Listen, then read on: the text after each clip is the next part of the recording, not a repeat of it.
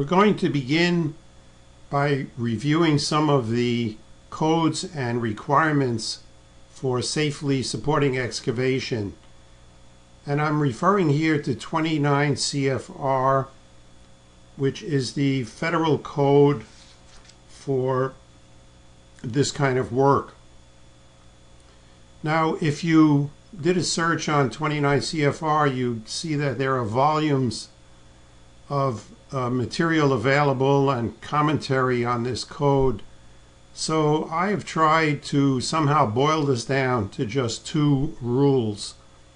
And I think that this is at least an effective summary of what is included in the code. The first rule says excavations over five feet must be supported. And this is uh, helpful and useful because there's no ambiguity here. If you're excavating deeper than five feet, you must support the sides.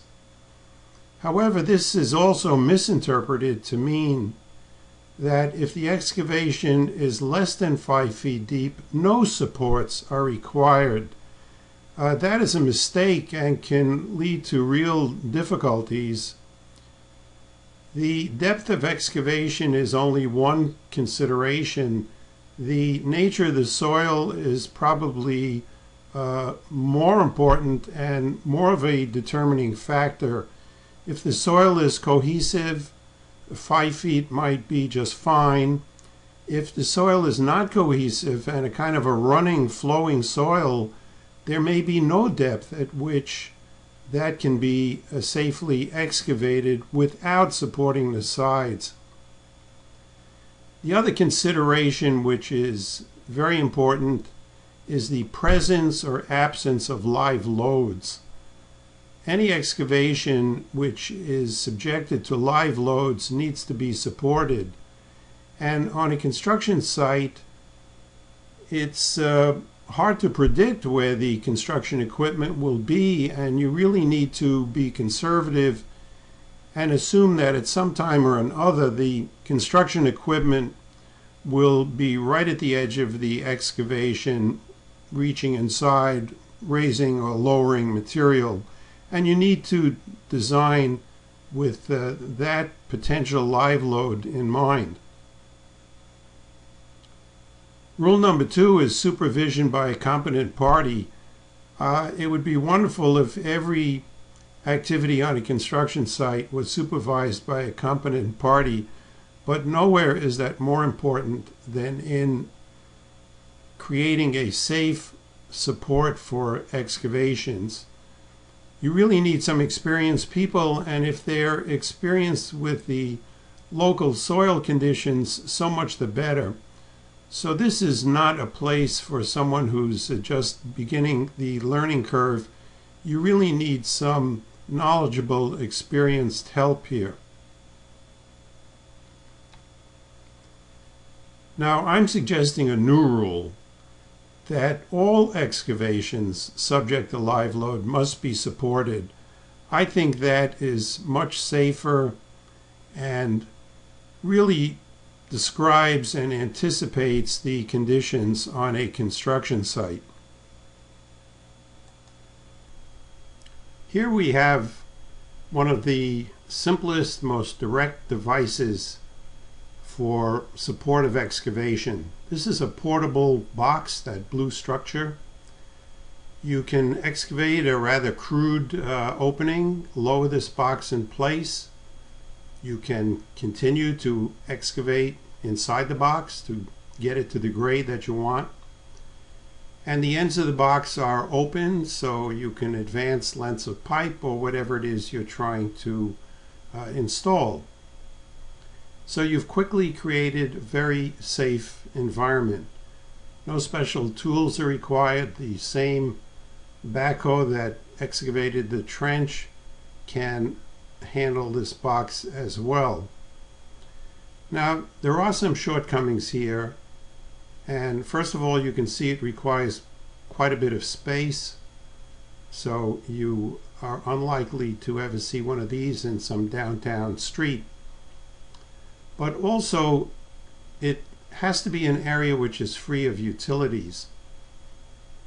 Now, if you're new to this business, you may not have heard much discussion about utilities, but on any construction project, they are extremely important and need to be well understood and accounted for before construction gets underway. Very often they're neglected and they come back to really haunt you during construction. Now, this box needs to have an environment that is free of utilities in order to work. So in a downtown location like this, because of space limitations, because of utilities, the box really would be infeasible.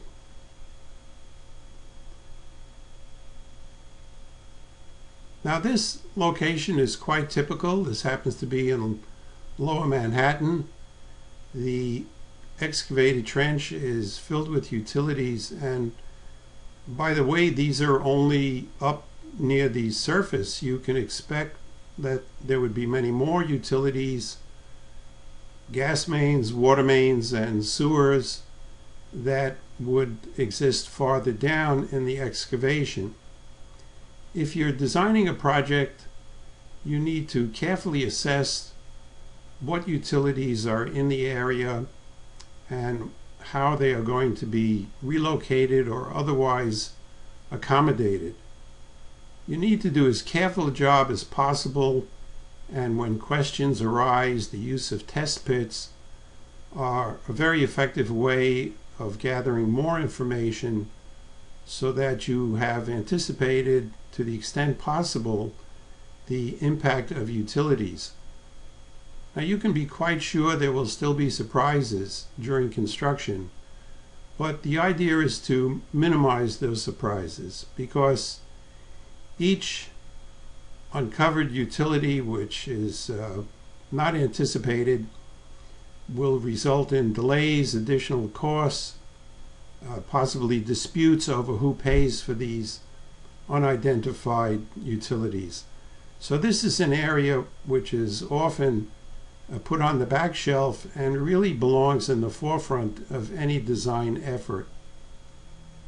Here's a system that you have all seen out in the street. This is very, very typical, and this is called timber sheeting. This is an extremely versatile method, and while it may look uh, somewhat uh, thrown together, it's not. It's extremely sturdy and safe and for you know reasonably shallow excavations it is uh, not only a satisfactory solution but it is a very flexible and very helpful solution. And that's why you've seen it so often. I just want to identify some of the features.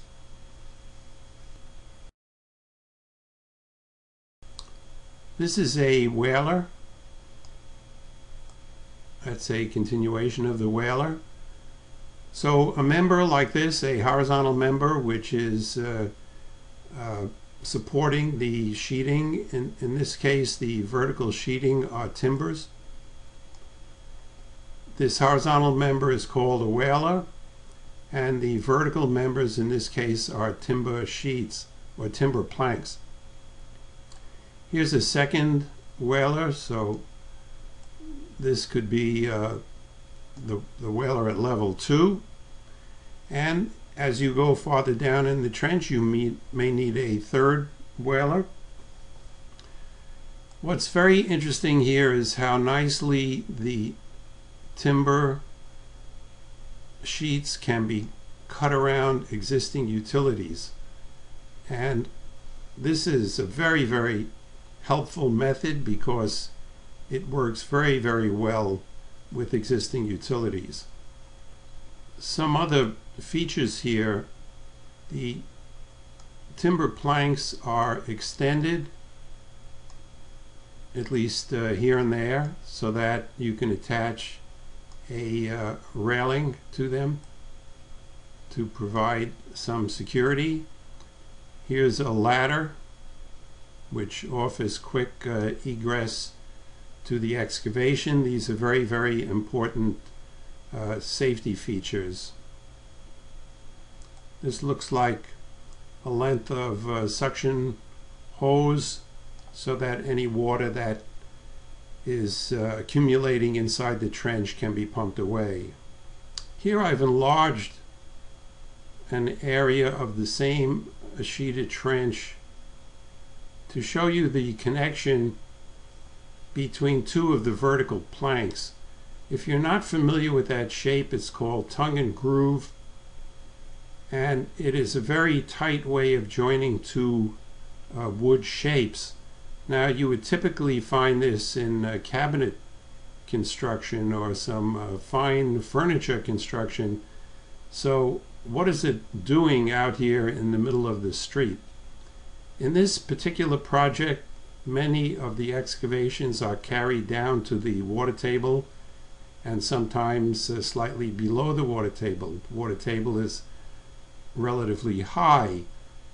And this tongue and groove connection can give you a quite an watertight uh, perimeter.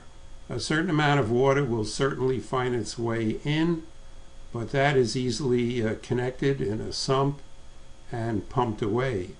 So this is a very, very uh, good feature and makes timber sheeting even more effective.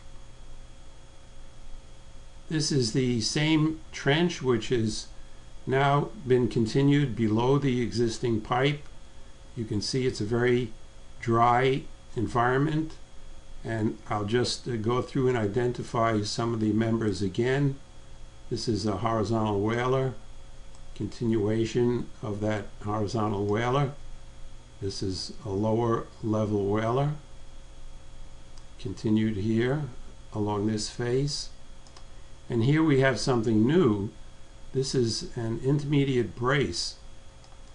Obviously this waler can only span a limited distance at which time you need to introduce a brace.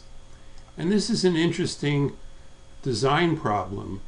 You want to make that waler as heavy as possible in order to minimize the number of braces the braces will interfere with whatever work you're trying to do. If you're trying to uh, reach in and excavate or deliver lengths of pipe or whatever activities you have, the braces or struts will be in the way.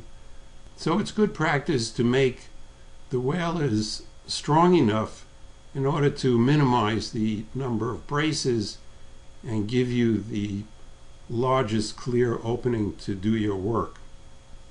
Here's a different project. Also timber sheeting. This is uh, quite a deep excavation, but you can see that the trench is relatively dry. And here the members are even larger than in the previous installation. So here's the upper waler a very substantial timber.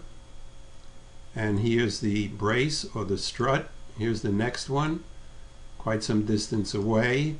So this achieves the maximum amount of working space, which is certainly your goal. I want to point out another feature here. This plank has been attached to the strut. And it's not carrying any load it's simply just carrying the weight of the strut. But it's very effective. After the excavation reaches this point the walers are installed and then the struts are dropped in place. Now you can simply drop them in because they're supported by this top plate that you've added it is necessary to come back and shim the space to make sure you have a very tight fit. The goal is always to minimize any movement to the sheeting because any movement would result in settlement outside the sheeting and this is what you're trying to minimize or eliminate. You do this by ensuring an absolutely tight fit at the end of the struts and you can fill out that space with shims and then eventually with uh, tapered shims, which are driven to get a tight fit. But nevertheless, everything here is timber, and you would expect a support system of this sort to yield somewhat, deflect somewhat, and it would be a mistake to think that there would be absolutely no settlement outside the sheeting. So this is a perfectly safe and satisfactory solution, but you need to be prepared to tolerate some settlement on the outside of the sheeting.